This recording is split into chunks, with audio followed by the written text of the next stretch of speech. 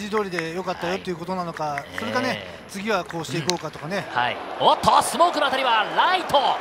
もう見送って吸い込まれていきました。ジャスティン・スモーク。5試合ぶりの第5号ホームラン。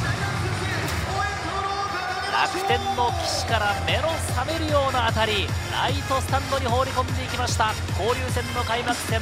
まず先手を取ったのはジャイアンツスモークの一発1対0先制です。これで左打席で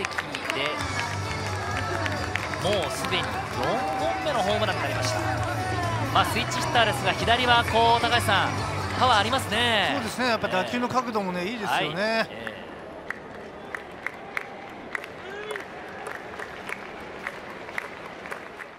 スモークというのはね、まあ、いいところでね、でも率は高いんですよね。ーそうですね。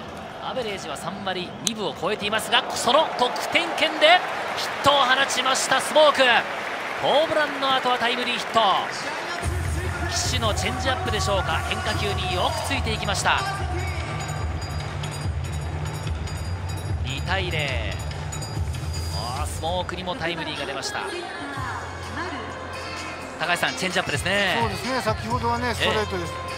今度はね、まあ、コースもね、チェンジアップいいとこなんですけども、えなんかね、どっちもはいなんか合ってますよね。そうですねスモークがええね、なんかが合うんですかね。はい。うん、首をかしげた、これは高橋さん、ボール自体は。まあ投げたうん本人はね、いいボールだったはずなのになというのは、あーあったと思うんですね。そうですね。